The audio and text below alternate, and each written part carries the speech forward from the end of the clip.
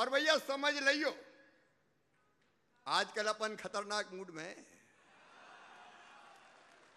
गड़बड़ करने वालों को छोड़ेंगे, फोड़ेंगे नहीं, फार्म में मामा अभी। और तो एक तरफ़ माफियाओं के खिलाफ अभियान चल रहा है। मसल पावर का, रसूख का इस्तेमाल करके कहीं अवैध कब्जा कर लिया, कहीं भवन तान दिए, कहीं ड्रग माफिया सुन लो रे, मध्य प्रदेश छोड़ देना नहीं, ज़मीन में गाड़ दूँगा, दस फीट पता नहीं चलेगा कहीं भी किसी।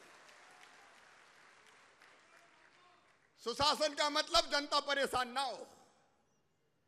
दादा, गुंडे, बदमाश। फन्ने खां, ये कोई नहीं चलने वाले। अब